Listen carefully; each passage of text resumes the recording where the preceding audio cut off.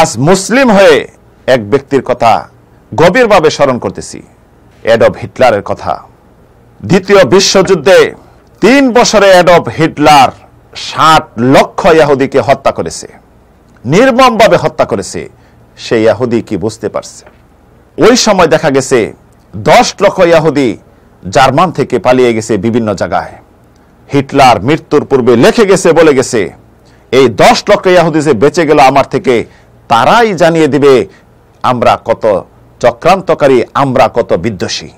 এবং কেন আমাদেরকে হিটলার হত্যা করেছিল? আজ বাস্তব প্রমাণ এটি।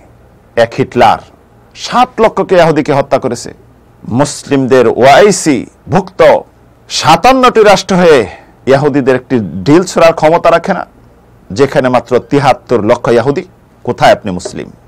ইয়াহুদিতে চক্রান্ত এত গভীর।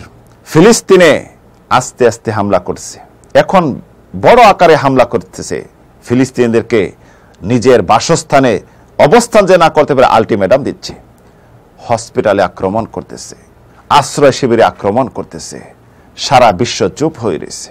আজ যদি একটি খ্রিস্টান ইহুদিকে আক্রমণ করা হতো, সারা বিশ্বে মুসলিমদের বিরুদ্ধে নড়েচড়ে বসত। মুসলিম কোন দিন জাগ্রত হবেন?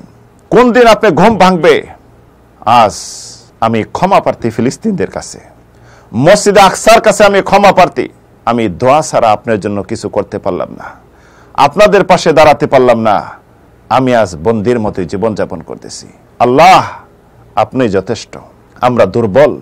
ইমানি দুর্বল। অক্ষতার দুর্বল। ফিলিস্তিনিদের জন্য আপনি যথেষ্ট।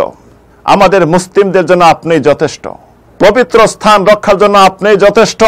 আল্লাহ আপনার কাবাকে যেমন হেফাজত করেছেন মসজিদে আকসাকে হেফাজত করুন, ইয়াহুদি থেকে হেফাজত করুন, মুসলিমদেরকে হেফাজত করুন।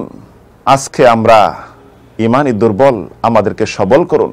আমরা যে পরীক্ষায় পড়ে আছি পরীক্ষা যেন আমরা উত্তীর্ণ হতে পারি তৌফিক দান করুন।